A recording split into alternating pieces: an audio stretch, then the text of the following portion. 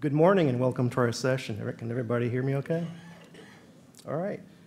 Uh, my name is John Abresch, and I'm coordinator of collections at the USF Library in Tampa. And with me are my colleagues Laura Pascual, interim director of collections and discovery, also at the USF Library, and Anna Seiffert, who is the head of collection management services at the Arthur Lakes Library at the Colorado School of Mines. For my part of the program, I will introduce a conceptual framework for communicating diverse aspects of the collection management lifecycle to library stakeholders. Laura will provide additional insights and web page metrics from our study, and Anna will provide a case study of communicating, communicating budget information to stakeholders at the Arthur Lakes Library.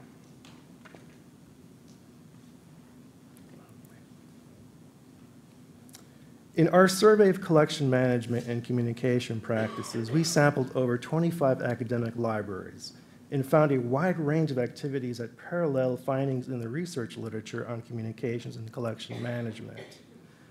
Four communicative strategies that were significant in the research literature and that I will discuss briefly are enhancing internal communications in libraries, building relationships between the library and its stakeholders, and building narratives around collections. And finally, establishing a communication assessment plan. The survey of professional literature also found that published best practices do not adequately explain how to communicate with stakeholders, though it, they say it is a good idea to do so. Contemporary collection management processes and practices, when looking at the whole life cycle of information resources, often involves a whole village of individuals who perform a myriad of functions from back-end IT support to tech services, processing functions to public services reference support. Solutions to collection inquiries can involve bits of knowledge from individuals performing specific, specific functions as information flows across a library organization. With these complex library organizations, associated with collection management lifecycle. An important element that appears in much of the research literature is establishing good internal communications.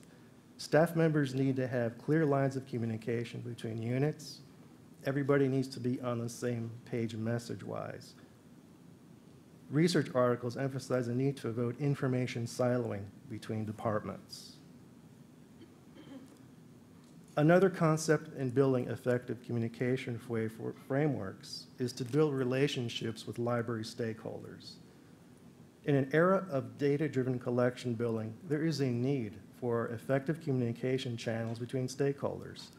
Often, library facilitates solutions to collection issues are the result of interactions between several groups, both internal and external to the library three relationship building actions among stakeholders that I'll provide examples on are from experiences that we've had at the University Florida Library, including leveraging information technologies and partnerships, leveraging staff expertise, and library outreach to diverse groups. An approach in enhancing relationships among stakeholders associated with collection management at the USF Library that we've been looking into is based on the notion of communities of practice. Developing a community of practice focused on collections involved inviting individuals to participate in a team-oriented collection building environment. The goal of the endeavor was to create shared values in a collection focus area. When the USF Library was challenged to build research-intensive collections or engage in university initiatives advocating student success and faculty research endeavors, the community of practice approach allowed librarians at USF to explore new ways of developing partnerships with librarian staff, resulting communication interactions, contributions from individuals with unique perspectives. All these interactions helped to develop narratives and stories around collections that affected library budget planning, collection planning, looking at staff needs and, and meeting strategic, university strategic goals. Examples of narratives built around collections at the University of South Florida include collection-focused narratives. One of our big initiatives was developing of geoscience collections where we managed to engage several stakeholders in the collection management process. Textbook affordability was another initiative that integrated diverse library e-collections and resources for a well-defined return on investment supporting student success. And more recently, we began a Scholarly Communication Roadshow, which is a collaborative library effort at supporting faculty research productivity. For the geosciences, uh, when challenged with creating a research-intensive collection, the library assembled a group of faculty external to the library with unique skills in geospatial message, methods, that is, and which we launched what we call the Digital Heritage and Humanities Collections, or DHHC, which is in the USF libraries.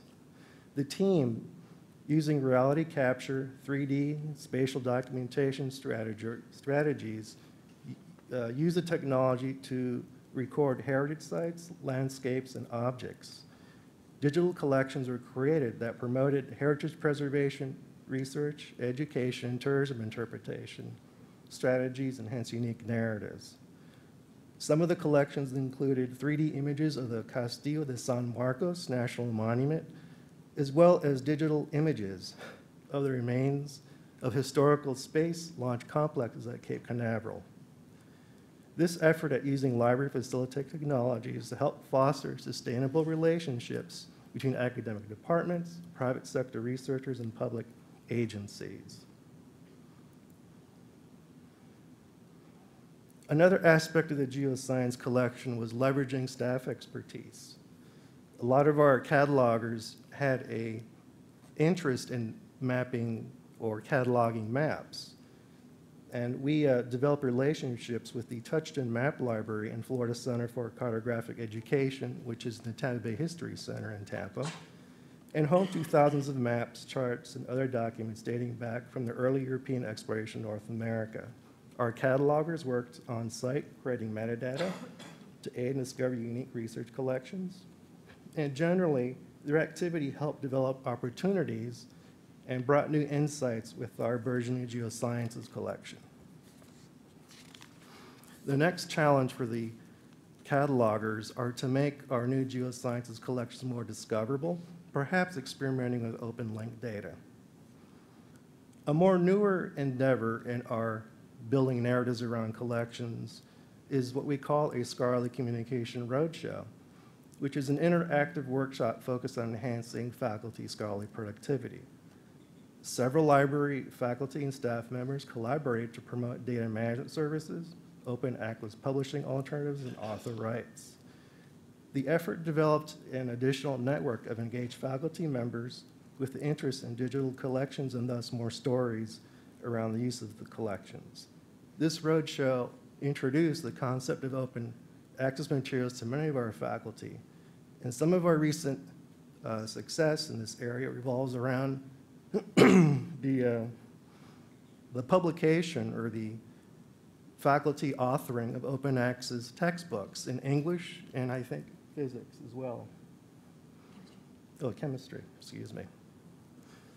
And again, as the process continues, we expect more stories from these collaborations to come out, which will help point the direction of this collection. Probably our most successful uh, experience with narratives around collections with, with our textbook affordability efforts at USF. Uh, this textbook affordability initiative grew out of the collaboration between librarians, campus bookstore reps, and representatives from vendor publishers librarians were able to create solutions that ensured all students have access to course materials. And through these efforts, we were able to save students a significant amount of money, calculated to be over 20 million since 2010. And the feedback we've been getting from students from this endeavor has helped create a whole series of messaging, of, of social media, and, you know, and other uh, messaging and communication framed around the idea of TAP. An integral part of communicative, framework with library stakeholders is your library advisory groups. Once you have a framework in place, advisory groups are often uniquely placed to provide feedback and interaction for a lot of activities the library has engaged in. Once a communicated framework is established, sta- stakeholders can uh, keep engaged through the use of advisory groups or councils. In fact, at USF, our faculty library advisory group has been really integral in helping us plan a lot of our graduate research collections in the humanities. A final aspect of building a, a communication framework in library settings is an assessment plan. Communication assessment plans are usually part of a strategic or marketing plan, or if no strategic plan exists, it could be tied to a library's mission and outcomes. And often communication assessment involves data derived from website messaging. And now my colleague Laura will introduce some findings from our survey with a focus on library webpage communications.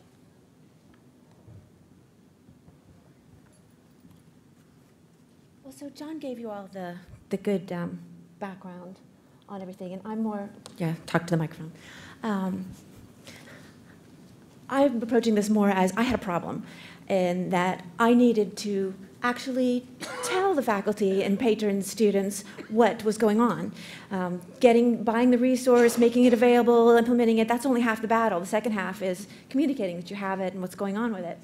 So, um, uh, that's where I started off, and what I have available to do that is the library website. That's where everybody goes for the resources, and so this seems like it's the logical place where everybody should go to find information. Um, so it's our channel that already exists. Um, we already provide, uh, we're supposed to be experts at making everything discoverable, so I want to make this information discoverable too, more than just the resources, but this information that is in demand. All right, so what did I need to communicate? Well, the first, the first thing was uh, a new resource comes up. You implement it, you make it work. Now you've got to tell people about it. That wasn't so bad. Um, we, uh, um, I do a test course, make it work. We talk to the reference librarians. We do a LibGuide. Then it gets put out there. Okay, that's good. We've communicated it. But now it gets a little harder. So we have a lot of evidence-based ebook programs at uh, USF, and ebooks are bad enough by themselves for faculty and users to understand with all the different platforms and models that can be. But now you say, oh, it's going to disappear. It's not perpetual. Um, that that was really a hard part. Um, is understanding that it's it's it's like a subscription, but it's a little different because not all the books disappear. Um, the models can be different. Um, how do you make sure that the book that the faculty was using yesterday isn't gone today? So you want to let, let them know what's going on about these programs. So that was, that was, that was my second thing I wanted to communicate. Um, then, you know what, I'm not showing you my slides, am I? Just realized that. I actually have this on uh, the PowerPoint here somewhere. Library website. Things I need to communicate. Okay, um, streaming media. So we had, like everybody else, a PDA program. Everybody loved it. Um, then we couldn't keep that going, so we have a mediated version now. And that has, uh, we have a lovely LibGuide. We have a complete title list of everything we have, but I don't think anybody really finds it. Um, it is on the library website, but it's in a LibGuide, and I don't, uh, that's one of the things, how do I communicate that here it is, there it is, find it, uh, we have that information. So that's, uh, that was my next problem. And, um, and then, of course, resource cancellations and ads, ads and cancellations, both. Um, I want to be able to have a place that people can find um, that information as well. Let's see, so let's, uh, this slide.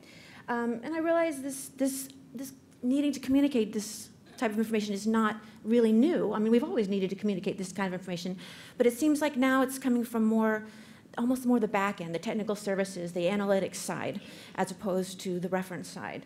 Um, that's, that's our department. That's, that's where we're looking at it. So we need to be, make our department more visible. Um, we're used to being the little invisible back end, probably kind of like it that way. But uh, now it's about having your web page, having your bios, um, say, uh, having our contact information up there. Uh, when these questions come up, uh, we're there to answer them. Um, And then once we're visible, we have to be transparent. Um, we want to make people aware of what we do. Um, so I think that's, uh, those are two of the main goals of having our library department webpage. Right now, we're in the process of doing that. We have bits and pieces that are there. It's not all coherent, and uh, I don't have everything that I want there. And that's where I decided to, okay, let me look and see what everybody else is doing. So I thought, okay, I'll, I'll do a survey. I'll get some uh, data points, look at some libraries, figure out what's going on, make it a formal thing. Um, and that's what I did. I started off, I, I got a whole bunch of, uh, let's see, I probably have another slide. Well, I guess I could talk about, uh, I pretty much did. Um, well, let's go around. Um, so in the survey, I, I, I got a huge list of libraries, 120 of them. And then I had about 50 data points that I thought I would be interesting to look at when I looked at these. That was severely over ambitious. Um, I ended up with 20, 25 uh, libraries is what I came out to be because it took a really long time to really poke around. Um, so, I'm, so I'm looking at this as my pilot survey, uh, figuring out what data points I could collect and um, limiting it to that amount. And uh, I ended up with uh, a few key data points, uh, which we'll go over pretty soon. Um, I, I was looking for um, some standard information um, formal collection development policies. This, this is all the stuff I wanted to communicate, so this is what I was looking for on other uh, websites. Because um, I'm looking to build a communication infrastructure, a place where everybody can find uh, this information. So, for my survey design, uh, I took the classic element, uh, item to look for, which was a collection development policy. And you would think that would be easy, but it's not. It's not really easy to find on a lot of websites. Um, and then the, uh, another, the other item I wanted to look for was um, information on sustainable pricing models, which is, um, I love that word, sustainable. It's so perfectly appropriate. Um, sustainable, sustainability, is renewable energy, um, and that's what we want to be able to do, renew our resources. It seems just perfect, but it's also code for probably budget cuts and need, needing to be able to do things cheaper. So um, I'll talk about the keywords that I looked for that helped. Um, but my survey wasn't, that I did of the websites was not about identifying and, and the processes. It was about finding the information, where the information is located, because I want to talk about communicating this information, not, not just how, we, how somebody did the process.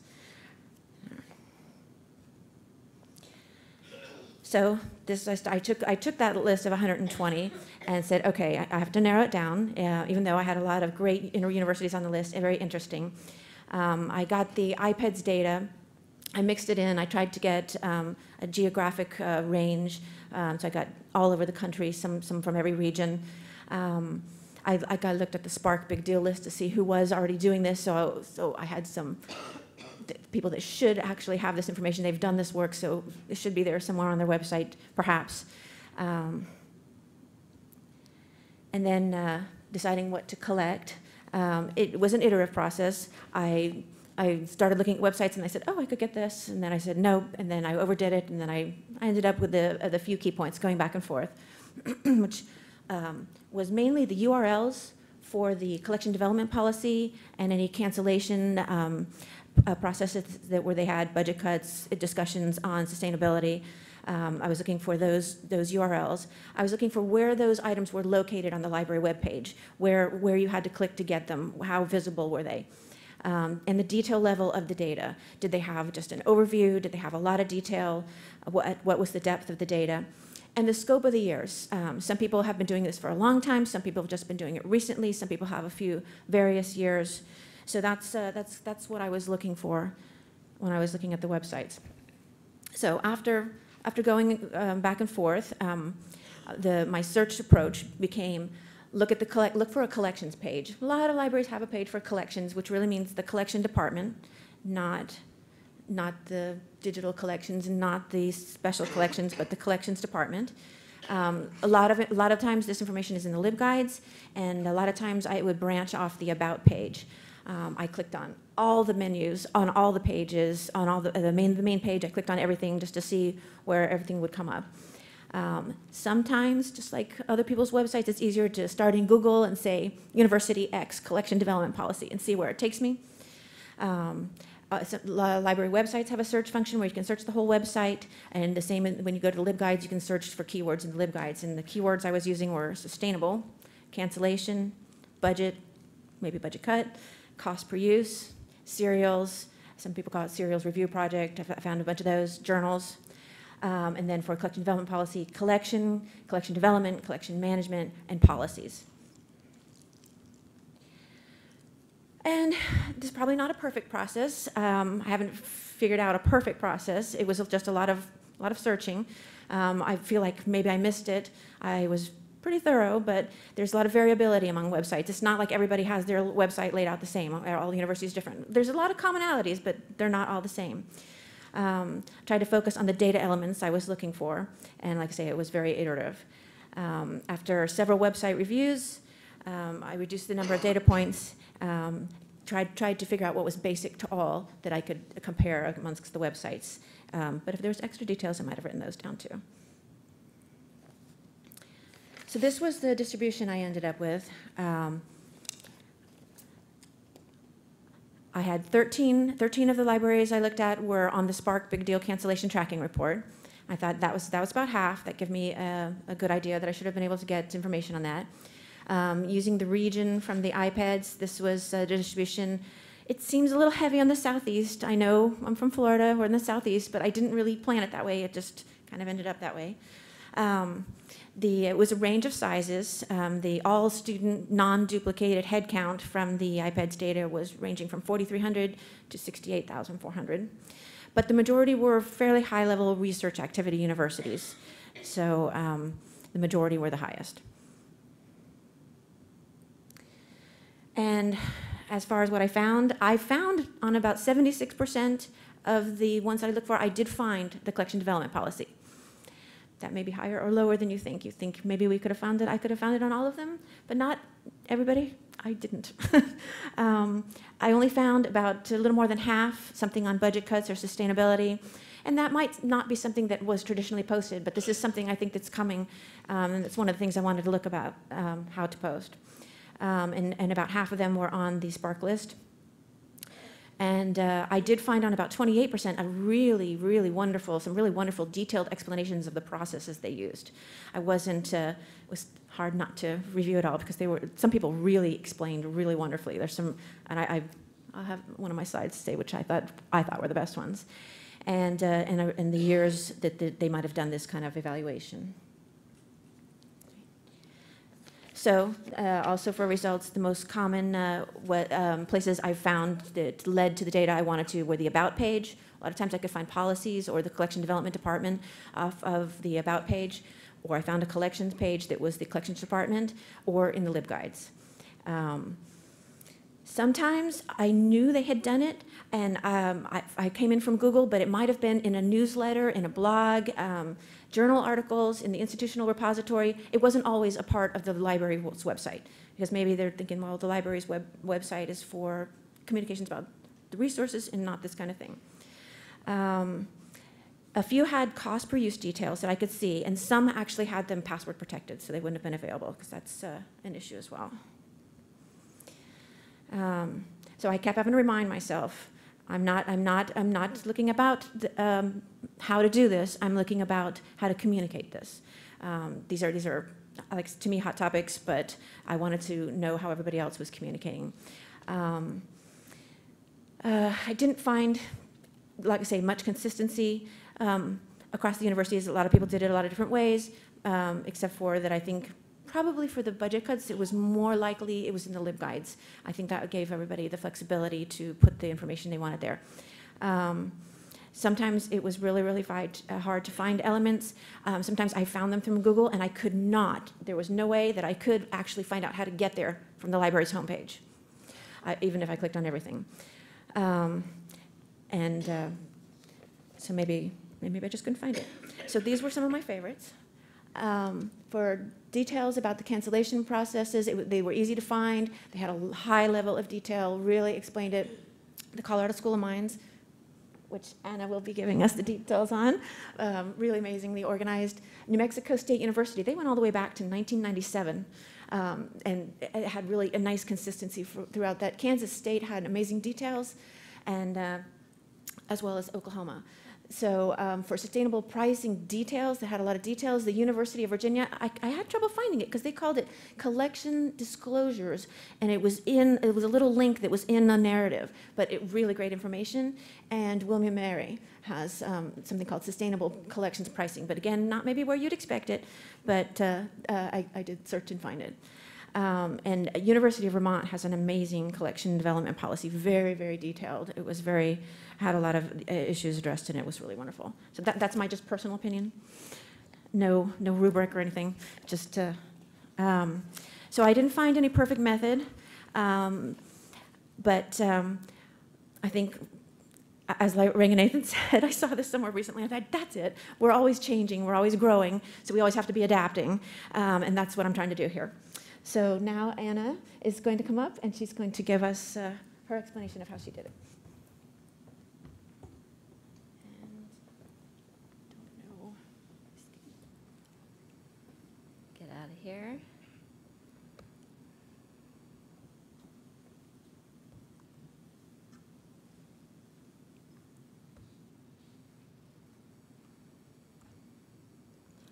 All right, so I'm Anna from Colorado School of Mines. I'm head of collection management services, and I've been there for a little over three years. And um, I'm going to talk about how we've tried to reimagine how we communicate collection and collection decisions with campus. So Colorado School of Mines is a little engineering school nestled up in the foothills um, outside of Denver, Colorado. There um, are 5,800 uh, undergrad students. And in the library, there are 13 librarians, there are nine staff, and we have probably over 100 student workers. They're fabulous. Um, we have two outreach and engagement librarians and um, no formal liaison program. So that helped frame like how are we going to communicate this if we don't have that traditional form of communication. Um, so when I started, um, there was not a lot of, or any, really, feedback from faculty about the collection. Um, communication was sort of broken. And when I asked, how has this been communicated before, um, I got, well, if, if somebody wants something, like a new journal subscription, um, we ask them what they want to cancel. And if they can't think of anything, then we tell them, well, we'll put it on a wish list and we'll hope.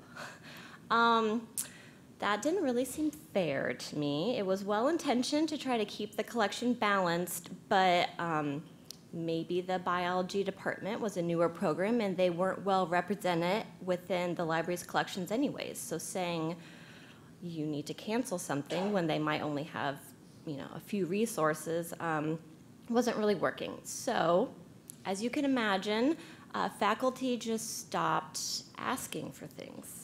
Um, new programs came up, and on the little form it would say, you know, what resources do you need from the library? Nothing. The library has everything we need. We're okay. Like, check, uh, approve our program, here we go. And then so inflation, you know, journals skyrocketing, our collection wasn't was not keeping up, um, and administration didn't understand what was happening. Um, and then the day of reckoning came um, about when we were looking at our budget about six months after I started, and there were some new people in the budget office, and they said, okay, instead of just giving us what you your budget for next fiscal year based on like EBSCO, what's you know journal information. Um, we want an accounting of every single title, why you canceled things, why you have certain titles, cost per use, like everything at a granular level. I was horrified, obviously. And I respectfully declined. um, so that didn't go over very well. So we did not get what we requested for the budget, but um, my boss backed me up. Um, we had a, a, modest increase. It wasn't enough to keep up with inflation. Um, so we did, we were going to need to make some cuts. Um, so previously, decisions on the collection were a lot about communication and understanding where the programs were coming from, but cost per use, the hard data was not performed. So it was time for me to dig in, you know, give me all the data.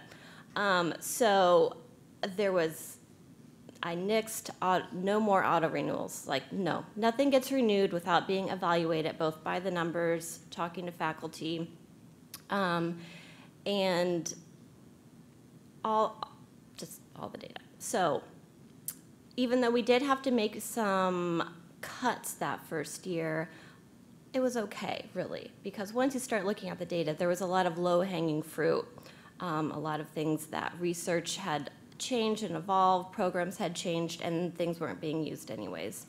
Um, so, but it really gave me the opportunity to make sure that as the library that we were doing all we could to protect the budget we had and grow leave space to grow the collection where it needed to go so the usual things cost per use really leveraging our consortia really pushing back to vendors on cost per use if we didn't have a multi-year agreement but it was an essential item well then we need a multi-year agreement so that we can move that forward um, and then I needed to think about how to put all this data together and um, actually have it make sense to both faculty and administration. Um, because ed- admin didn't know what they were asking for when they're like, give me cost per use and information on the titles. I could drown them. We all could drown them in data, but they wouldn't know what they were looking at, right? I mean, it, it wouldn't be helpful to them anyways. Um, so I thought we needed a, um, an overall framework of the publishing industry, how it interacts with academic libraries, um, and then remind them of where we were. So EBSCO's annual report is great. We had mixed success um, in previous years with asking for our budget amount based on this. Um, but it wasn't really resonating. So I don't know if you all have used this before and had mixed, mixed success. Hopefully we can um, chat some afterwards. Um, and also looking at ARL data um, is also helpful. This was this spreadsheet uh, graph was more helpful with faculty when we ended up sharing it because I think some were just oblivious. I don't know how they could be, but they were oblivious to what was um, happening overall. Um, and then we needed to get into what was going on at our library. Um, so if we had kept up with inflation over 10 years, that was around 6.5%. Our budget would have been over like 25% more than, um, than it currently was. And because we're a STEM institution, we rely heavily on uh, journal subscriptions. And then it just kept eating in to that book budget. You know, the journals just seemed to keep ballooning. Um, and then this um, I found to be really helpful. So I took uh, IPEDS data um, on our peer institutions as well as our aspirational peer institutions, you know, MIT, and said, how do we stack up? Um, and this got uh, faculty going, hey, like, why, you know, we, we have these great missions for the campus, but we're not, we're not keeping up. Like, we need to do better for the library. So um, it was good to see where we ranked. I mean, we weren't, we weren't the, worst. Um, there are some others, um, but we have a long way to go if we want to keep up with the big boys, right? Um, so then the real work began. Um, how do we reset the conversation, especially with faculty? Um, yes, I, I calculated our exact inflation based on renewals um, and faculty feedback on what new money we needed. I gave that to administration and we had pretty good success with that, giving them like the hard data. Like this isn't just some national average, but this is our deals, what we have, this is what we actually need. But the real challenge was getting faculty to consider us not the bad guy anymore, always saying no, but a partner with them. So I um, got out from behind my desk my little cubicle in tech services, um, and I did in services with them, talking about our collection. Um, we started a new faculty senate library committee, which I was on, and that also had student representation. Um, so that we could understand also particularly where grad students are coming from, faculties on that to get some input, and then they could help spread the word. Um, we put information out in newsletters and had things prominently posted on our website. And the LibGuide, although you know it can't be found a lot of times, um, I think by inserting the LibGuide that has some of these collection decisions throughout these different communication channels, um, people were finding it, and I was getting a lot of good feedback from faculty. And then that feedback, especially when it had to do with cancellations, I could also take back to administration and say, look, they're saying this is critical to their research. Like, if you are wanting to support your faculty and be a research institution, this is what we need to move forward.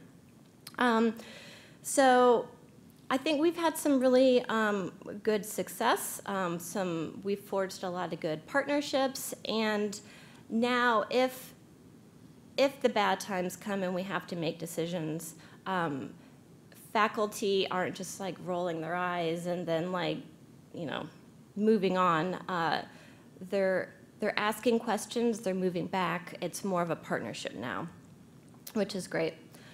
So our our first year, where I was like, no, we're not giving you that data, um, we did have to make some modest cuts, but there were enough cuts that we could make that we were able to add more content than we actually cut. So it, it worked out okay. Um, the second year, giving administration the uh, like absolute data on what our inflation rate was going to be for the next year, and then backing up our requests with faculty feedback, data from ILL, um, re new research programs, we were able to get um, a little over an 8% increase overall. So, yay! Um, everyone was happy, and new resources abound. Um, the third year um, was a rough year for the campus, and um, rough all the way around, and we had only about a 4% increase, um, which is less than what we asked for.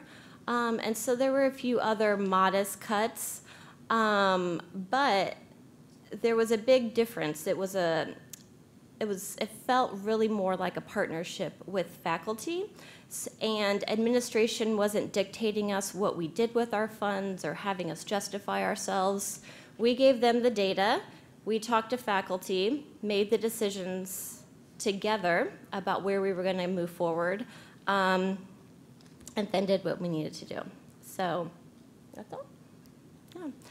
And um, hopefully you have some questions for us. We're really um, interested in what strategies have worked for you um, because there isn't one like perfect answer anywhere. So thank you.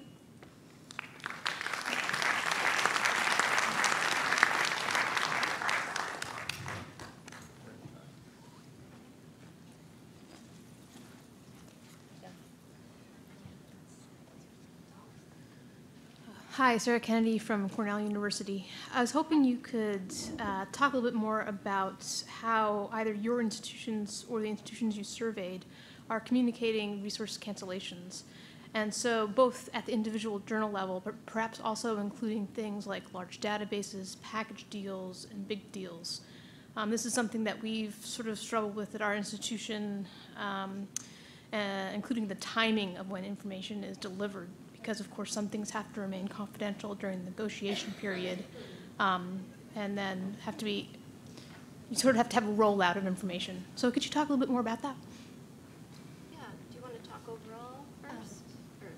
For, for, for me, looking at it, I mean, I, it's, uh, it's, um, as soon as possible is, is the thing, because people, people, uh, what I've experienced is that I'm always working on it, working on it, working on it, and then, oh yeah, I gotta tell people, and it's like the last minute, and you the longer that they can know about it ahead of time, the better they can prepare. Uh, So we start, um, our fiscal year is, starts July 1. Um, so we start looking at things in January, February, um, and requesting where we think we're going to be. We usually know by March or April, kind of ballpark, whether it's going to swing in our favor or not. Um, so we can start getting information out before everybody flees for the summer. Um, but usually, hard deadlines aren't until what, like October? So even then, there's usually time um, in the fall semester to get information back um, from faculty.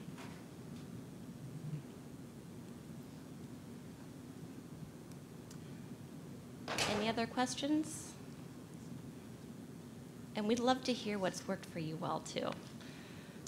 Hi, um, you mentioned, this is for Anna, you mentioned that you started a committee through the Faculty Senate. In under 30 seconds, I think you said it. And I'm wondering how you got that process to work for you guys. Um, so there, there had not been an official library faculty senate committee previously. There was sort of an ad hoc group like years before that was um, informal, giving information back and forth. Um, and when I came in, and my uh, university librarian came in at the same time, it was one of our priorities. Like we need we need this. Like, we need to have a seat at the table and have the faculty senate understand where the library is coming from. And we also need to hear what they need. So we um, sat down with the provost and talked about it first. Um, and then they agreed, and so then we worked with the faculty senate to get it formally added on. Um, and so now it's been going for this is the third year, um, and it's been really, it's been really helpful to have an effective and reliable communication channel um, with both faculty, but with also those student representatives. Um, we're working towards also a renovation project, and it's been really helpful to get the student perspective, and they can share back that information. So if you don't have um, anything formal on your campus, um, it's really worth putting the effort in to get it going.